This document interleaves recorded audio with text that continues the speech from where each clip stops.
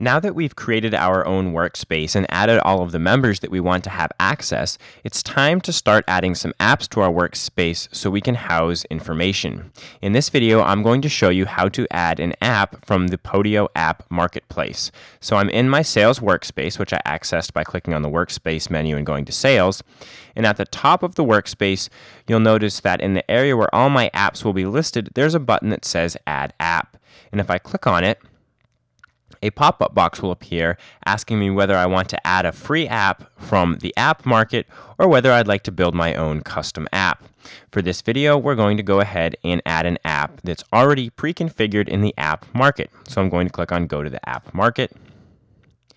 And you'll notice that when the Podio app market loads, we are presented with a bunch of different apps to choose from, and they're categorized over here on the left. So depending on what you're looking for, you can drill down a little deeper either by function or by industry for the particular Podio app that you're looking for. Now, if we take a look at the top of the app market, you'll notice that the first three things listed are actually app packs, which means it's not just one app. There are multiple apps within this lead management pack. Same with the client project collaboration and the simple project management pack. So I could actually choose to get this whole pack, and it's going to add all of these pre-configured apps to my workspace. Now at the same time, I can click on more info on one of these app packs, and it's going to tell me a little bit about the pack. So it gives me a description.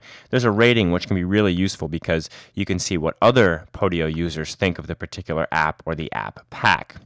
But if I scroll down a little bit, you'll notice that I can actually see the particular apps in this pack. So there's a leads app, communications app, and so forth.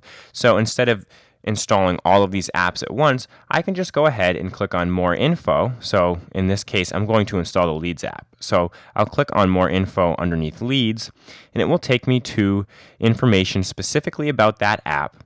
And I can go ahead and I can click get app. So when I click Get App, it asks me which workspace I'd like to add it to. I'm going to add it to Sales, so I'll just click Next.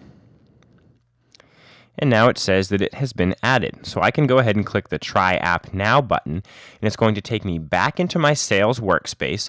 You'll notice that up in my top bar, I now have another icon for the Leads app and it's actually taking me right into the Leads app, which we can tell because this app is highlighted in green up here at the top we have a pop-up box telling us that the app is empty. We don't have any information in there yet. So later on in this video series, I'm going to show you how you can add information to an app, how you can customize apps, and even create your own app. But we've now started out by installing our first app inside of our sales workspace.